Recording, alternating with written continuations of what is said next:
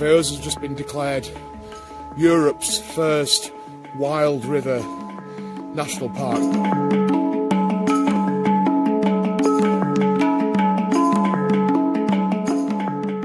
One of the features of this river, several of the tributaries in the Vjosa itself, is that they're free flowing. That means from where they rise in the mountains of Greece and Albania, and all the way down to the Adriatic where they empty into the sea, they're completely free flowing. So there are no barriers, no hydroelectric stations, no dams, no weirs. The river is not channelized. In other words, it has its natural banks. And that's really important for the biodiversity of a river like this.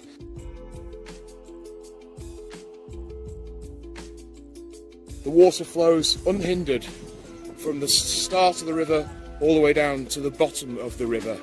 And that's really important for two reasons. One, it allows the free movement of animals like eels and other fish. It creates lots and lots of different habitats as a natural river should.